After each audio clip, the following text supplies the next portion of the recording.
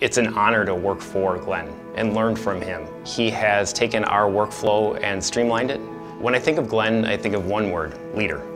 One of the things that brought me to healthcare was I love serving people. It's really important to me to be able to relate the projects that my team is doing to patients.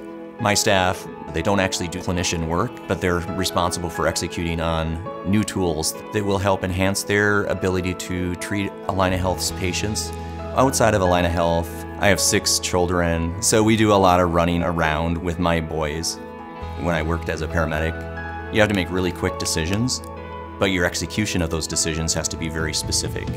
I try to empower my staff to make the decisions on their projects and continue being able to move projects forward so that we can achieve the results that we need as Allina Health to meet our patients' needs.